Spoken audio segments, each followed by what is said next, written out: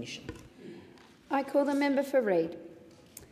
Every year, Australia Day gives us an opportunity to celebrate extraordinary Australians who help make our community the wonderful place it is. And I want to recognise some of their contributions here today. Ellen Louie has been the chair of the Australian Nursing Home Foundation for over a decade and is recognised with an OAM. Her work has been fundamental in developing and running aged care facilities across Sydney, with a particular focus on our older Chinese community. I've been able to visit one of these facilities in my electorate, the Bernard Chan Nursing Home in Burwood. It's a wonderful facility where older Chinese speaking residents can eat familiar food, celebrate Chinese festivals, and have care provided to them in their mother tongue. The late Dr. Gregory Kesby was posthumously awarded an AM for his significant service in obstetrics and gynecology.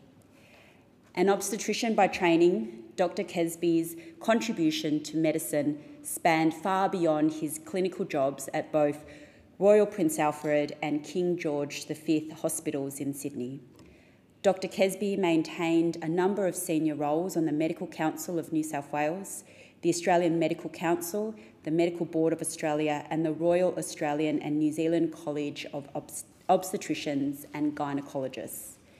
His legacy lives on through the many clinicians he helped train and the many patients he treated. Justine Perkins was awarded an OAM for her service to the community.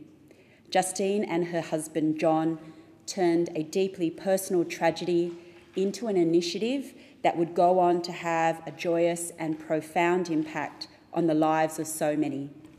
The Perkins lost their daughter Olivia when she was just eight months old. She had a rare disease that cut her short life, that cut her life far too short. As a way of channeling the immense grief, they set up the Touched by Olivia Foundation to help communities establish inclusive place spaces called Livy's Place. There are now more than 20 Livy's Place playgrounds around Australia, giving all children an opportunity to experience the joy and fun of playgrounds. Jennifer Collins chairs the Kokoda Track Memorial Walkway in my electorate. She has been awarded an AM for her service to veterans and their families, as well as her service to nursing.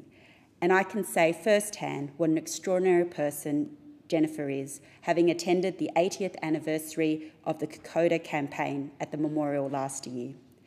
I want to thank all of this year's recipients for their incredible contribution to our community.